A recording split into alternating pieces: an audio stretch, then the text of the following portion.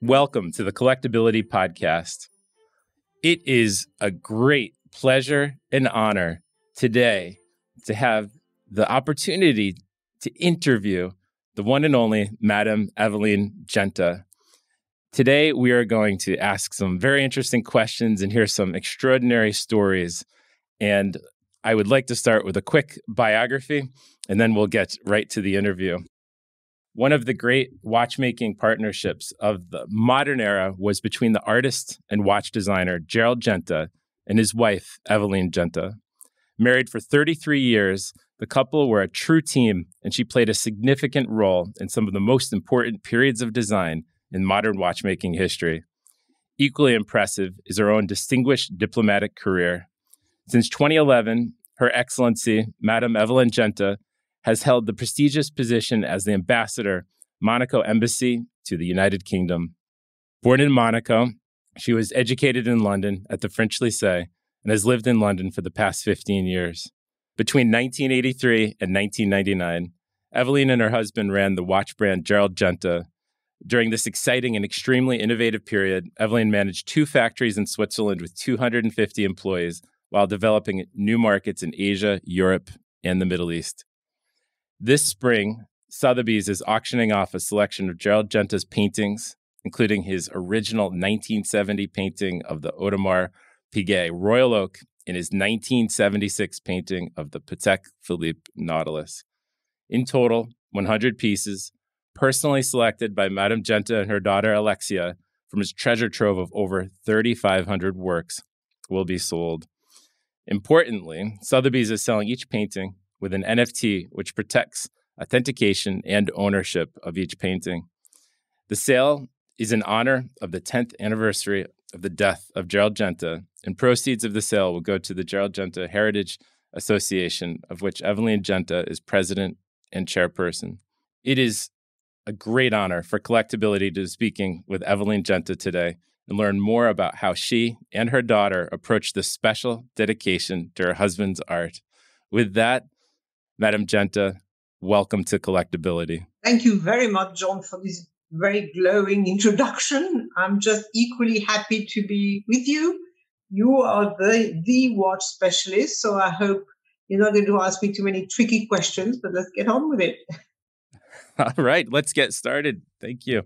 As we talk today, the second part of Sotheby's auction of a selection of your husband's artwork is taking place in Hong Kong. It's been 10 years since his passing. In a couple of weeks, he'd be celebrating his 91st birthday. What do you think you'd make of the this current recognition of his work and the fact that one of his watch designs, the Nautilus, is one of the most sought after watches on the planet? Thank you very much for that statement. I'll answer you with another statement. A few weeks ago, some people from the Far East came to me and asked to buy all the designs of Gerald Genta, which, as you know, I have got 3,200, which is something I'm not interested in selling. And I said, well, why do you want to buy all his designs? And they had this reply, because it's like buying the Michael Jackson catalog. And knowing Gerald, he would have loved that answer. And he would have found that very funny and would have adored it. But that's what it's about the celebration of designs. It's about putting Gerald in his rightful place, where the, the, the gentleman who designed the most iconic design of watches of the, the, this last era. Many have said, and I agree completely, 100%, that he is the Picasso of watch design and and I think the the world is finally waking up and understanding this fully. I mean, those are that's a strong comparison. What are your thoughts on that? First of all, I can only love it because Picasso was Gerald's very, very favorite painter. There was not an exhibition of Picasso anywhere that we didn't go to, and we would spend hours. He, he admired the painter so much, and he said people who don't um, when people say, "Oh, I don't understand these paintings," he said, "Well, it's like when you don't understand Chinese, learn Chinese, then learn Picasso." Uh, Gerald, yes, was known as the Picasso of timepieces. And I remember once in Singapore, in Orchard Road, a huge poster of him along a building saying the Picasso of timepieces. And you couldn't have made him happier. It's incredible. I, I think he's uh, smiling upon us, knowing that 10 years after he's left us, we're thinking of him and honoring him. I really hope so. With the, the world in its unfortunate state of turmoil, it must be a challenging time for you to be a diplomat. In addition to your role as ambassador to the Embassy of Monaco in London, you are the non resident ambassador to the Republic of Kazakhstan. How do you balance so many high profile responsibilities while managing the legacy of your husband? The diplomatic side I have managed for quite a while. I happen to know Kazakhstan extremely well, so that helps because, you know, although it's not close to England, when you have a country you know well, it is easier uh, to develop relationships between our small country and a very big country. And of course, most of my time is spent in London because I'm mostly ambassador to the UK, which I know and love very much. So that's the the legacy of Gerald, I had always sworn to myself that before his 10 year anniversary, I would put Gerald back to where he belonged because I feel, I felt, I don't feel it anymore, but I felt that some brands had forgotten, uh, not all of them, some have been very good, but not all of them had forgotten what they owe to him and the Swiss watch industry as a whole as well, what they owe to him. And I made it my mission to just a gentle reminder, and it seems we have got there.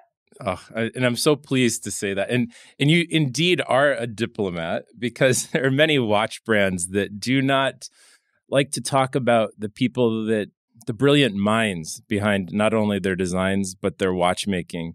It's almost uh, been a taboo topic to discuss some of these people in the past, and uh, I'm I'm trying to be diplomatic myself. And it's such a shame. But now uh, in France, we have a saying which says, "You only lend money to the rich."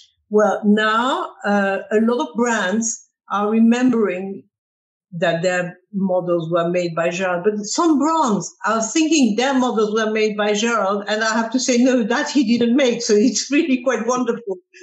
That's great. People are taking credit where it's uh, it's it's not due. Yes, and it's very sweet because you, you know I, he didn't. I think for for those of our listeners that don't realize the breadth of his impact of what brands he was designing for, I'm just going to mention a few. Of course, we know about Audemars Piguet. Of course, we know about Patek Philippe, and these are indeed his designs are the most desirable watches on the planet today but he also uh, designed the Polerouter uh, for Universal Genève at the age of 23. He also uh, designed the constellation for Omega, the engineer for IWC, and countless other designs for Piaget, Cartier, Corum, Hermes, and, and more. Are there any brands that uh, really surprise you when you look at uh, who he worked for? I was at Watches and Wonders about, was it 10 days ago or something? And uh, somebody came up for me and said, I'm from Timex. Your husband designed a watch for Timex that was made 30,000 pieces. I didn't know. He designed for Seiko. I'm, I'm telling you the most unu- the more unusual brand, Seiko, and, and uh, really loved, absolutely adored his time with Seiko. He designed for um, Van Cleef and Arpels, for Fred, for Graff, of course, as you said, for Cartier, for Hermes. For uh, it was endless.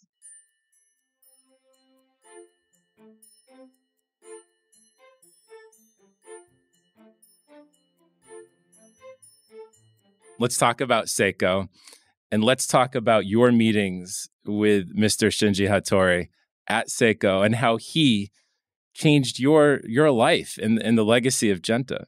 Absolutely. Uh, has always had a great love for Japan, always. The delicacy, the interest for detail, which is very Japanese. And so he designed a very special uh, watch for Seiko, and they invited him to come over to their shop, which was their luxury shop where they sold brands. Wako, correct? Exactly. Um, when he went there, he, um, Seiko had a poster uh, saying, you know, from the gentleman who designed the Waterloo, the Nautilus, the this, the that, and the other. And some of these brands, and I won't tell you which one, actually phoned Seiko and complained and said, you cannot put that on the poster. And Mr. Hattori was so shocked at that, so shocked that he turned to Gerald and he said, this is so unacceptable, Mr. Genta. You need to do your own brand. And Gerald said, well, how can I put my name on? And they said, you must absolutely make your brand. And that's how it started.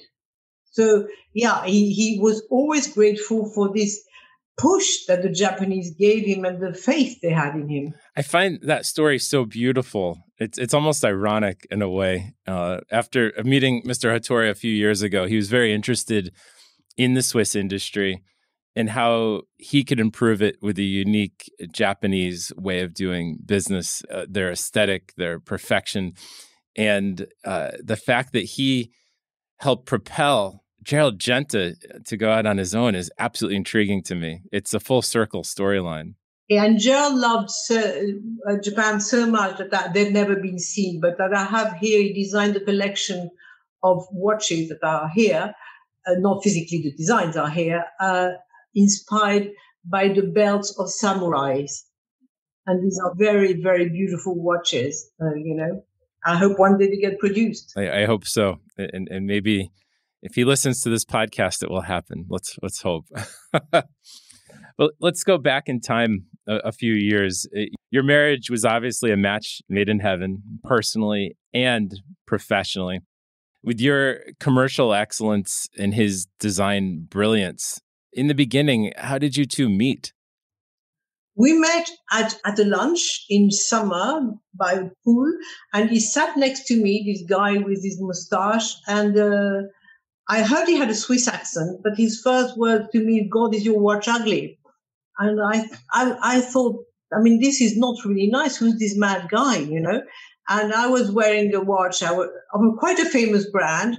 And he said to me, well, can't you see the lugs are the wrong shape and this is not uh, very well done. And look at the, he, he annoyed me so much that I took the watch off and put it in my trouser pocket.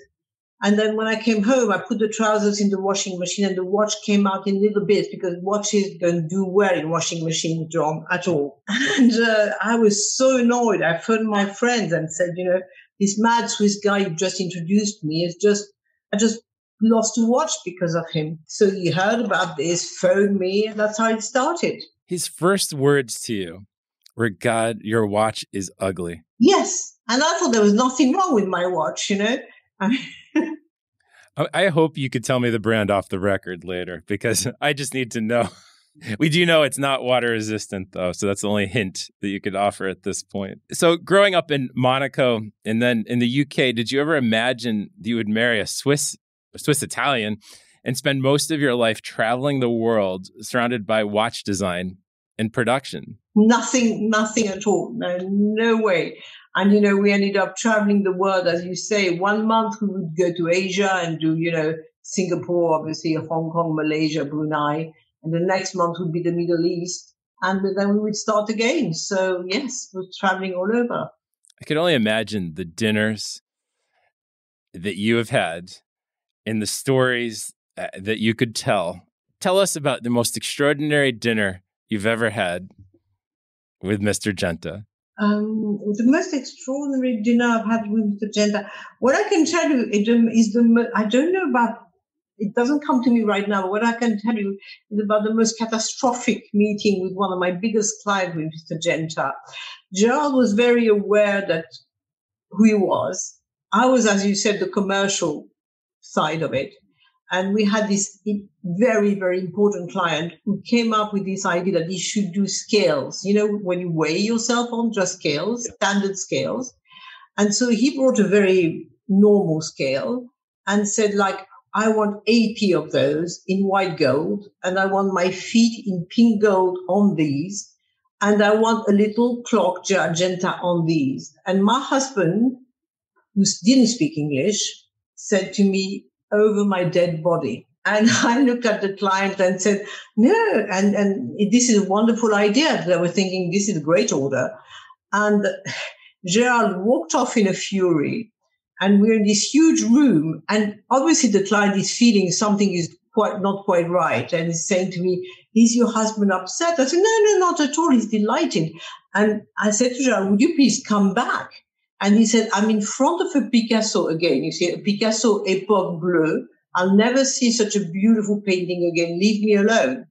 At which point I replied, if you don't come straight back, I'll divorce you.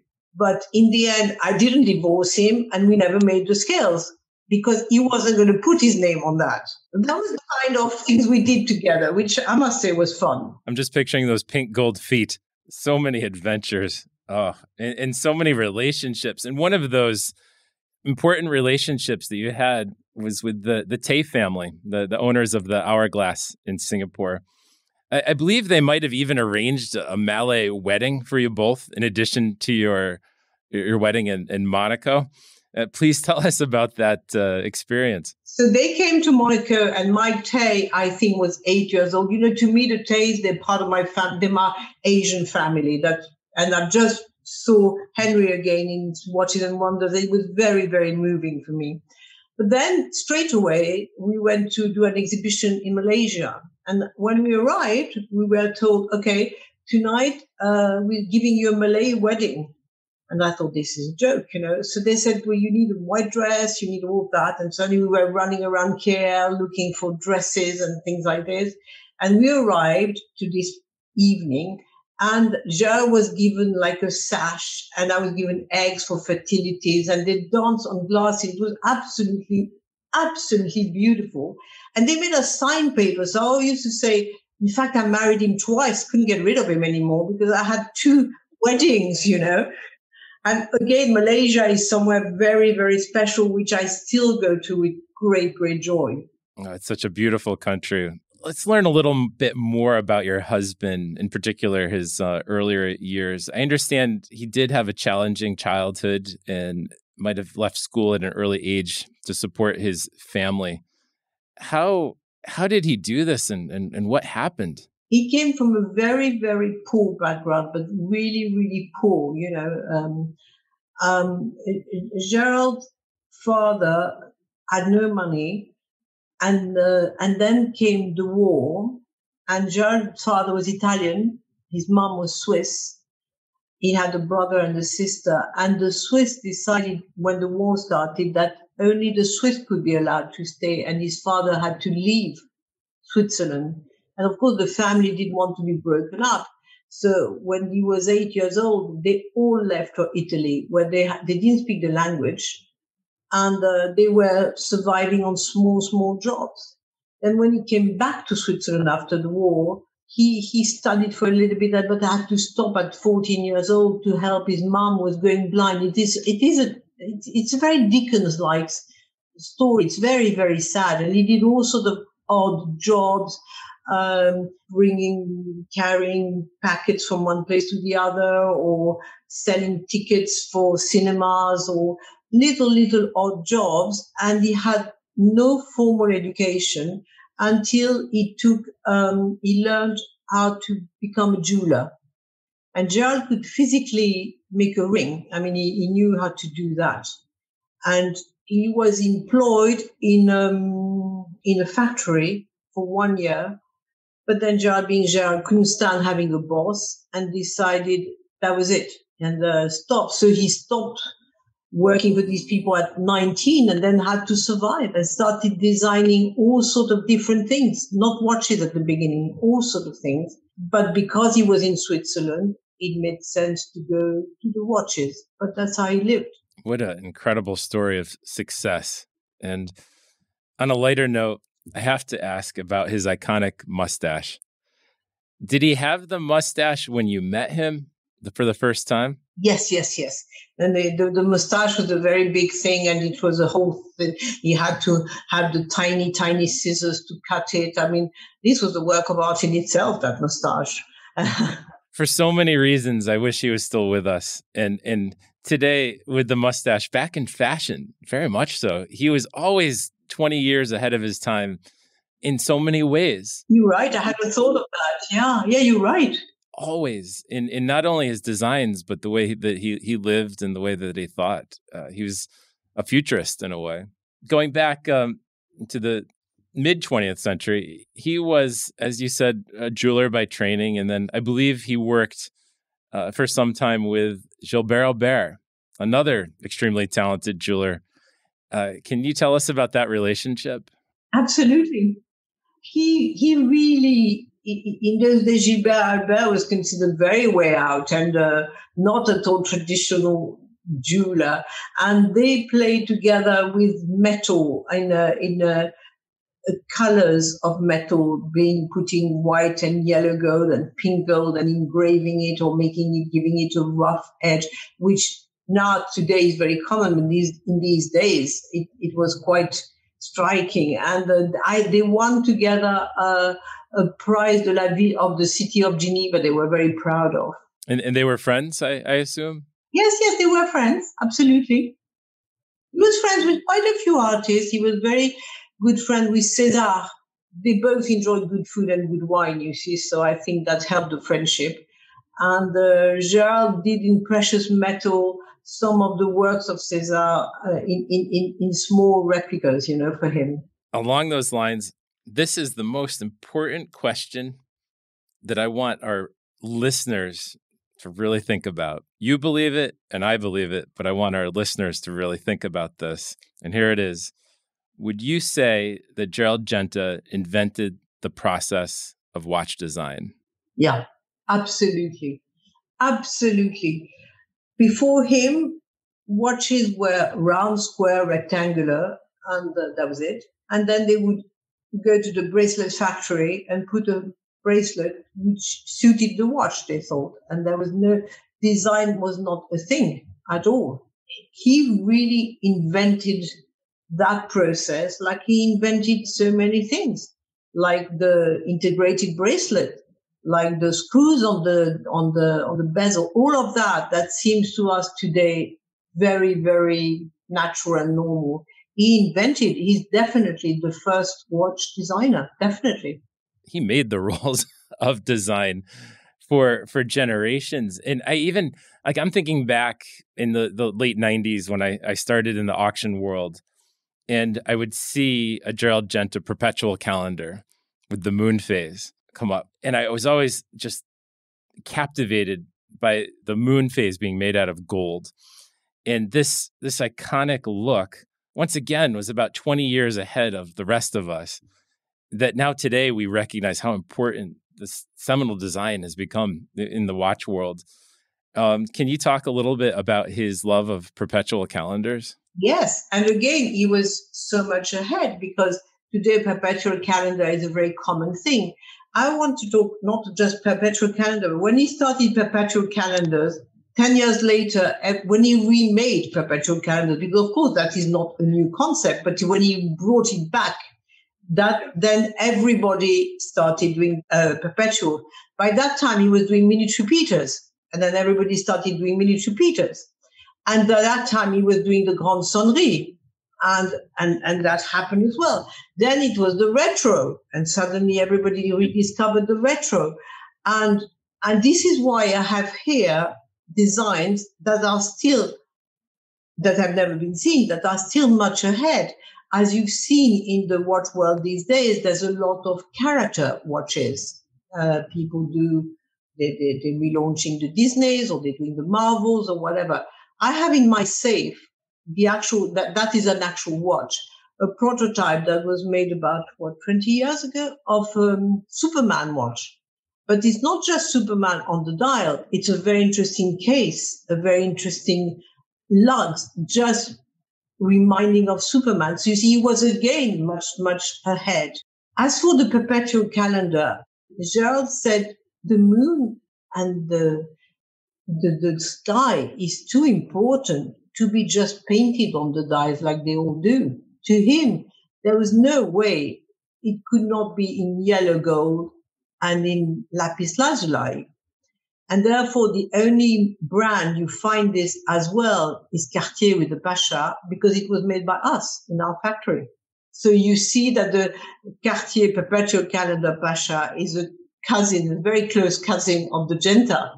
Uh, it's it's so certainly part of uh, part of the family, and and looking at those, looking at the early designs, on just looking at the Sotheby's site, you could see the designs and, and and start to understand a bit about his process. And and I think you could answer this better than anyone in the world.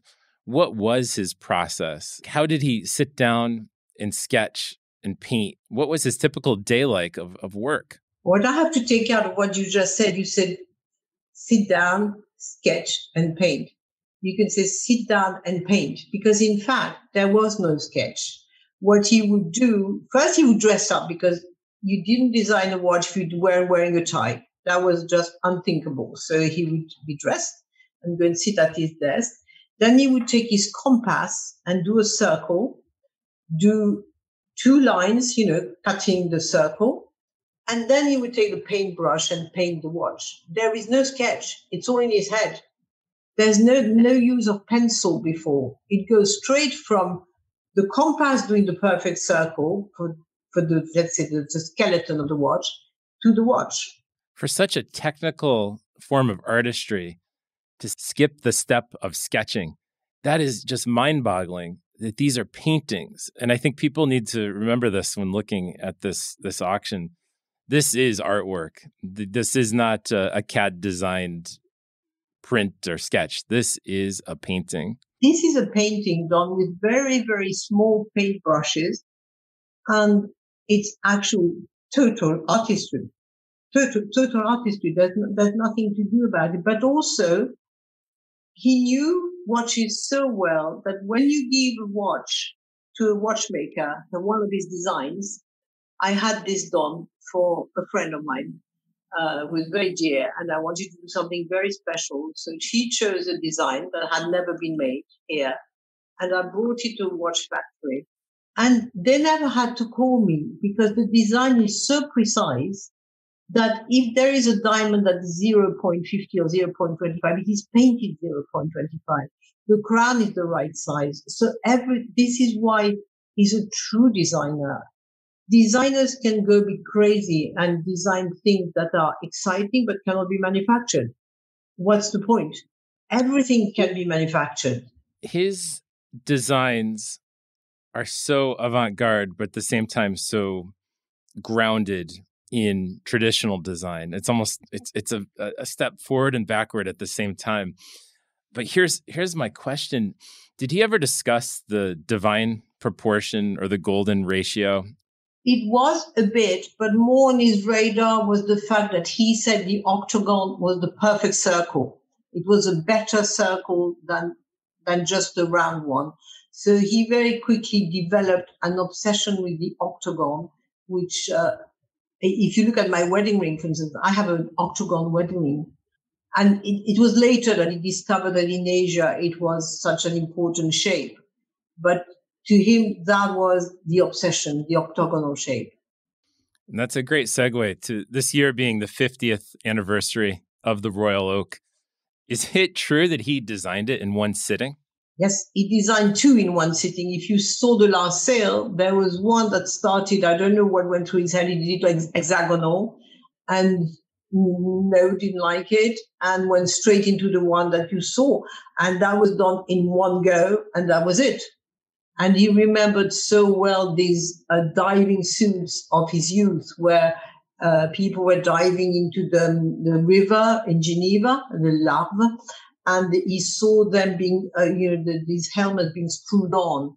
And uh, he thought that uh, that if, if these guys could trust their lives into these, uh, this is the ultimate watertight feature.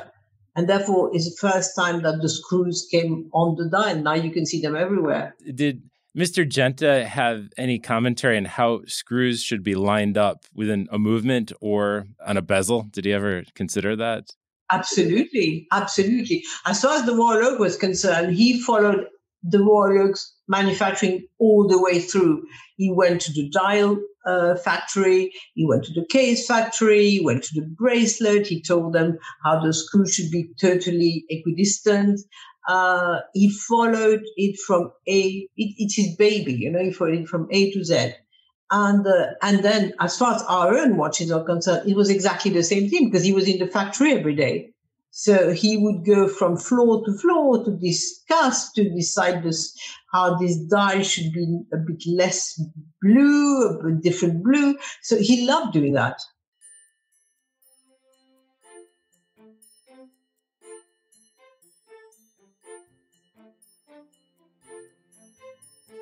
You spent many years traveling, as we discussed, uh, throughout the Middle East and Asia, and received countless commissions uh, from royalty, some that you can discuss and some I imagine you cannot. There must have been many times you produced uh, or, or Gerald Genta designed a single timepiece that in itself could have become an international bestseller if it was ever scaled up in multiples. And it's it's frustrating, I have to admit, from the watchmaking world that we'll never see some of these designs.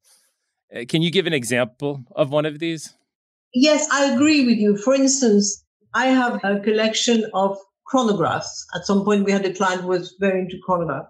I've got 250 different shapes of chronographs, and they are so with different dials, the, the ideas. And you're right. Gerald was a manufacturer of prototypes. So because our clients always wanted, the first question to us is, what do you have that's new? So that pushed him forward to constantly produce one off. And I totally agree. And I even know the ones that would be bestsellers because he told me himself, he said, you know, this would be a bestseller, that would be a bestseller.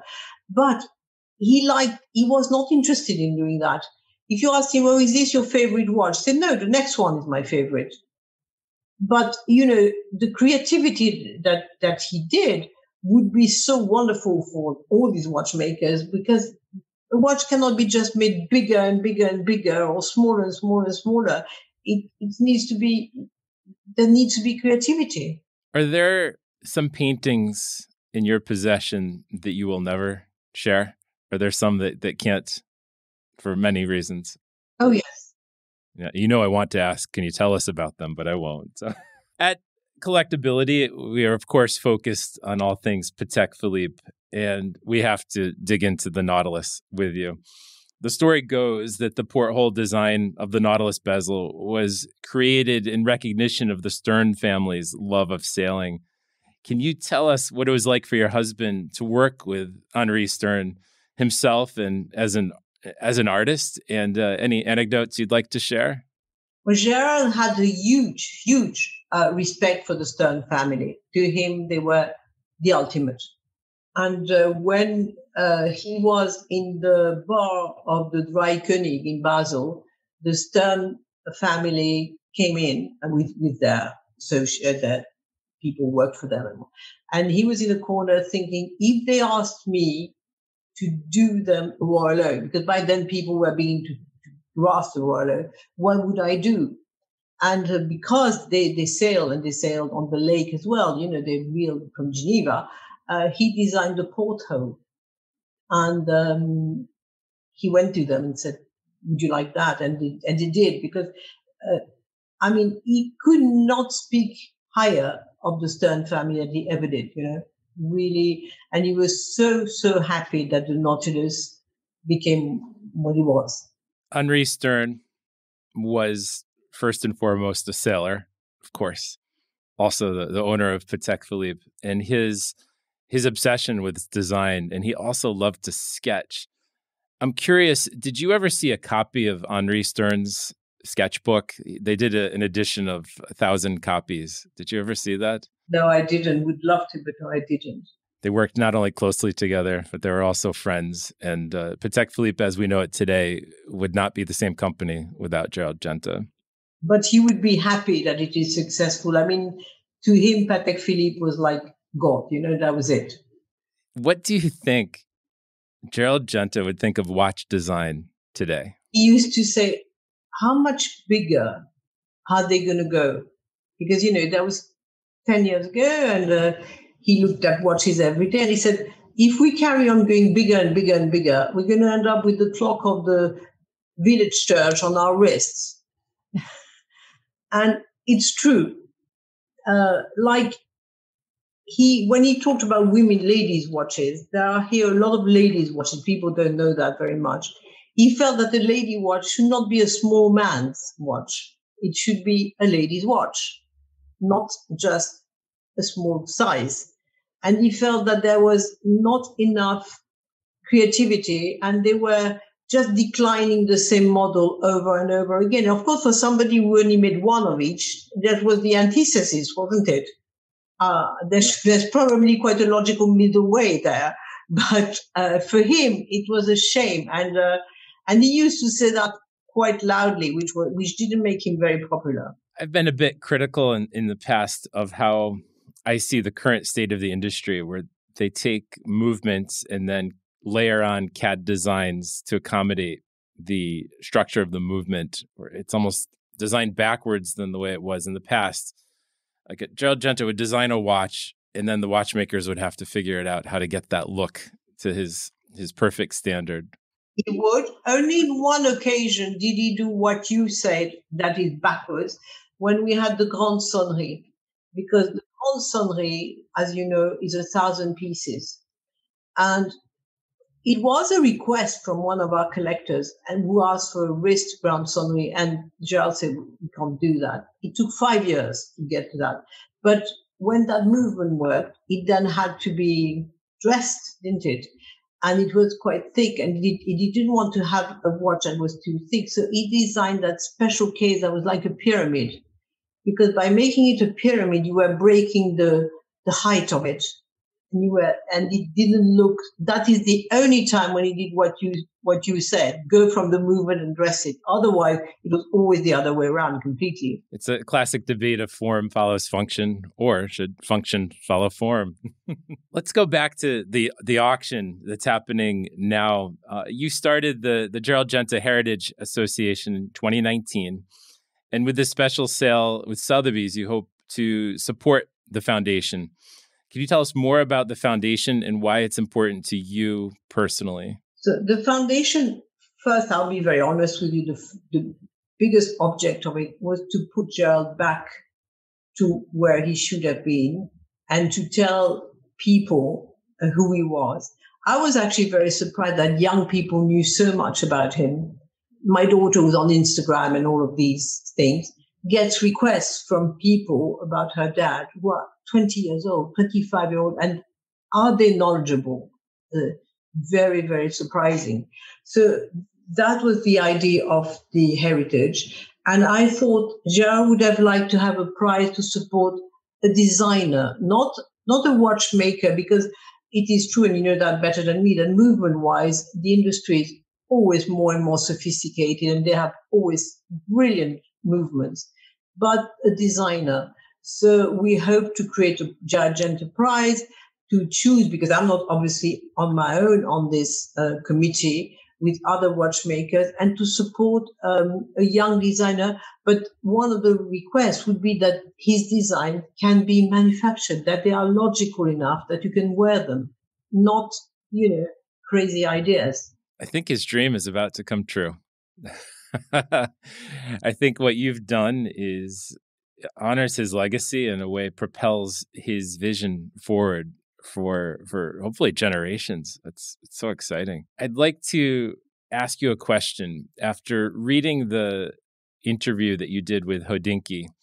Your your daughter mentioned his musical taste and the type of music that he liked to listen to while designing. Can you comment on that? Yes, he used to listen to this rap uh, I can't even remember the name. My daughter remembers the name of that rapper.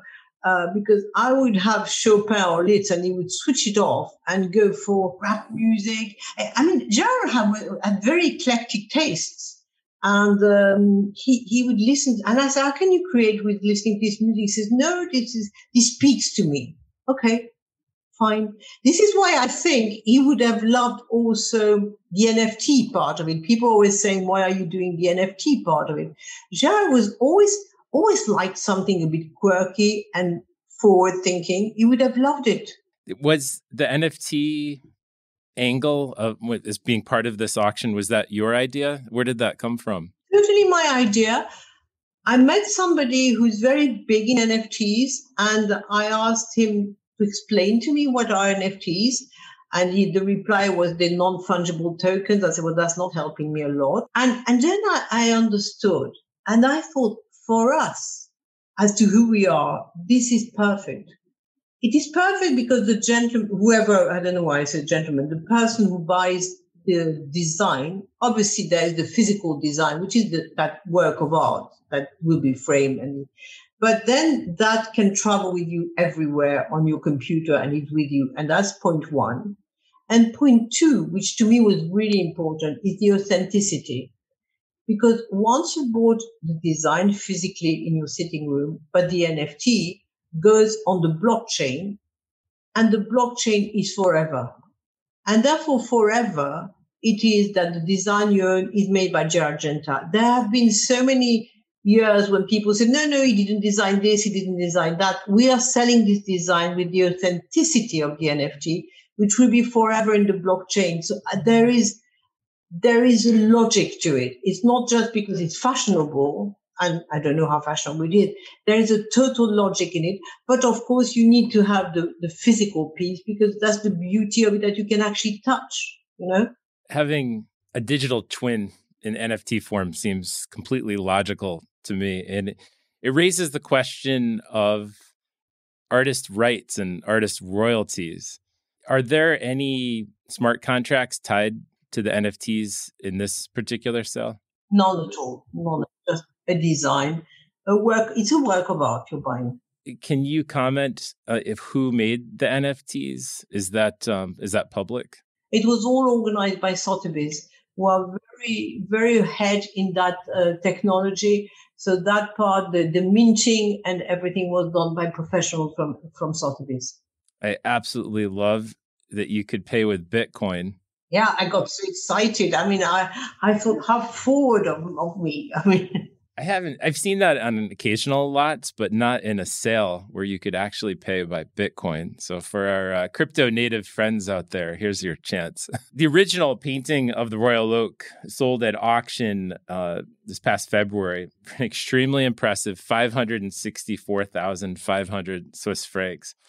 And as we speak, the bidding for the Nautilus original painting, as of today, is at three 0.2 million Hong Kong dollars, which is approximately 400,000 uh, US hammer. Are you surprised by these numbers? Yes. Um, when, when we went into this, I had no idea, to be honest. I had no idea. And I decided not to watch it until the end because I couldn't bear the excitement. So I didn't. So you're telling me now how, where the Nautilus is. I didn't know, right? The Oak, of course, I'm very happy that Audemars bought it, to be honest, because I know they're making a museum. They're extremely, extremely, I was going to say grateful. No, but they, they really respect Gerald very much, Audemars Piguet. And the fact that it's going home to the Brassus, that design, and will be seen by lots of people made me very, very happy.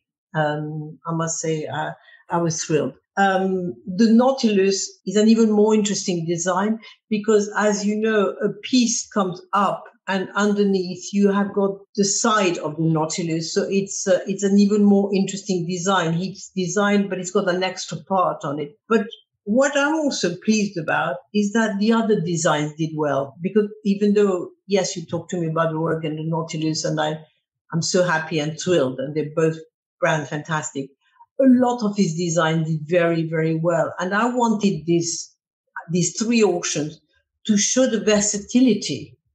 I didn't go for just the best sellers. Otherwise, I could have put different, uh, I mean, obviously these two big ones, there were others I could put in. But I wanted people to understand that Gerald could design sports watch, uh, complications, Mickey, ladies watch, jewelry watch, pens. I chose that very, very, very carefully as 92 pieces of art and not just a brand that will make a lot of money. Now, obviously, I am, I know that I've always known that the Nautilus and the, the Royal Oak will be big sellers, but the rest is really uh, in the last sale did very well. And that was really equally important for me.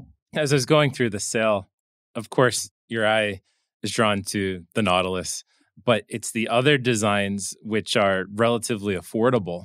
And I personally will be getting my bids in, uh, not for the Nautilus, unfortunately, it's out of my price range, but the the fact that you can own a painting from Gerald Genta and and it, and it goes to promote his legacy is just a, a win win. And uh, and I think when many of us uh, see his picture and hear his name from the watch community and beyond, we just have to smile. It's he brought a lot of pleasure to the world and a lot of uh, happiness.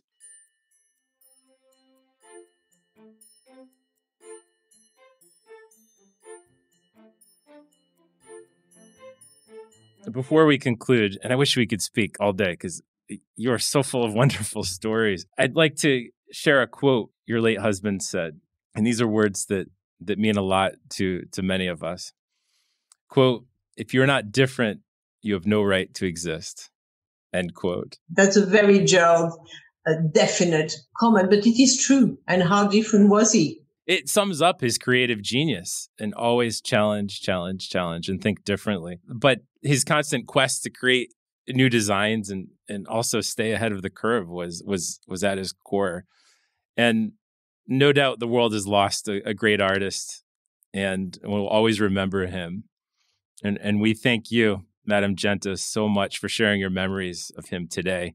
And we're so excited to watch these sales closely. Thank you so much, John. It was lovely talking to you. Thank you for welcoming me. Thank you. Thank you so much. Please, to our listeners, visit Sotheby's.com to see the results and the offerings of the, the third part of this sale, which will be June 8th through the 22nd um, out of New York. And you may have a chance to own one of these incredible Gerald Genta paintings for you and to help promote his legacy at the same time. This was our 14th episode in our collectability podcast series. I want to thank you all, all of our guests for listening.